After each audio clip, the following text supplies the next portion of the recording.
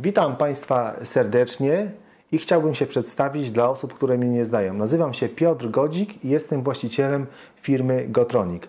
Od wielu lat prowadzę y, mój kanał na YouTubie, gdzie głównie prezentuję produkty, które można nabyć w sklepie internetowym gotronik.pl.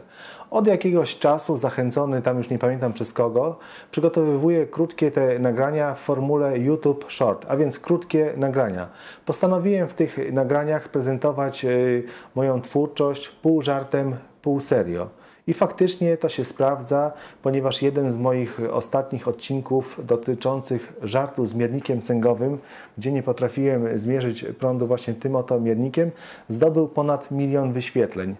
No fajnie, milion wyświetleń. Szkoda, że to akurat przy tym odcinku, gdzie praktycznie rzecz biorąc y, w ogóle się nie przygotowywałem, na jego nakręcenie poświęciłem praktycznie kilka minut. Miałem inne nagrania, gdzie się bardziej przygotowywałem a y, tam wyświetlenia były mizerne, prawda? No cóż, takie życie. I pod tym filmem, y, który zdobył to milion wyświetleń, pojawiło się mnóstwo komentarzy, co jest oczywiście y, bardzo zrozumiałe ze względu na liczbę wyświetleń. I w niektórych komentarzach tutaj użytkownicy pisali, że ich denerwuje lub robię im coś na złość. Nie, całkowicie zaprzeczam temu, dementuję. Nie chciałem nikogo obrażać, denerwować. To jest taki rodzaj mojego e, poczucia e, humoru, bo we wcześniejszych nagraniach zarzucano mi, że jestem e, drętwiakiem. A więc pokazuję się w tej formule YouTube Short z zupełnie innej strony.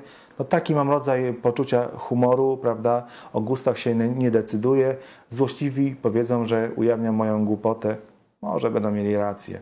Jeżeli jednak e, kogoś drażnie, łatwo skonfigurować własne urządzenie i ja już zniknę z tych wyświetlanych treści, ponieważ będę nadal tworzył te krótkie shorty, pół żartem, pół serio, bo w tych e, wielu komentarzach trafiają się prawdziwe, konstruktywne rodzynki.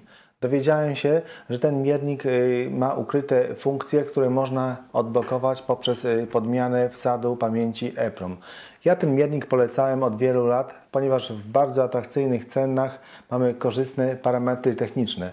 I teraz się okazuje, że producent właśnie Unite w tym modelu UT210E y, specjalnie ograniczył jego możliwości, aby nie następowała kanibalizacja y, bliźniaczych wyższych modeli. Nie dowiedziałbym się tego, gdybym nie przeczytał tych y, komentarzy. A więc dziękuję i zapraszam wszystkich zainteresowanych do oglądania kolejnych moich żartów i kolejnych pełnych odcinków na kanale. Dziękuję bardzo, pozdrawiam serdecznie.